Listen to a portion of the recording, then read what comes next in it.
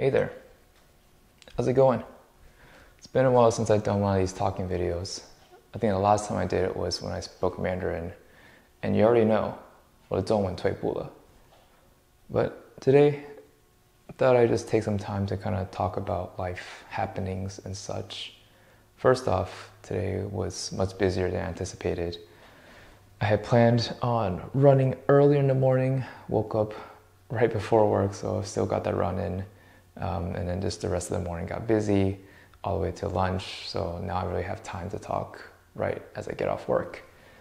But other than that, life has been a mix of wedding planning and just day to day stuff.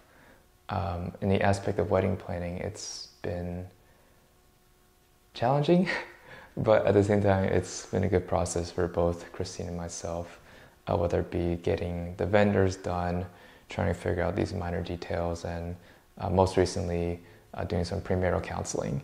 Um, that has been eye opening in some sense, where we realize certain things about each other previously, but also uh, different perspectives that we did not realize, and just being able to talk about those things. So, I think in that aspect, uh, counseling has been great.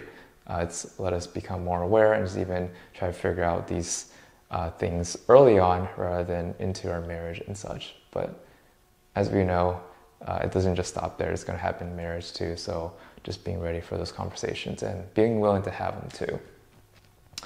Um, aside from that, just work has been good. I've been able to. I'm almost one year into this current job, so I'm just super thankful to be able to work um, as a product designer. Uh, my work recently has been challenging. It's been some good changes as well. So just trying to juggle between uh, a good work-life balance and still be able to enjoy my job and also be able to do work that impacts uh, many people as well.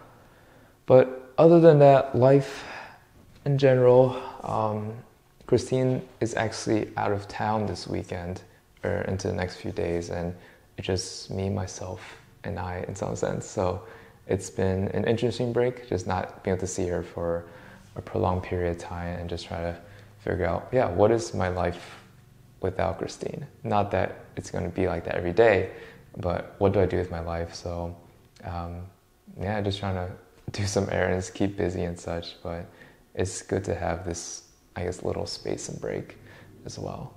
But yeah, that's basically what I wanted to share. Hope everyone is doing okay and well uh, as I get off work and go play some volleyball because that's been my latest interest of this past half year. Um, so get some practice in and have fun. See you around.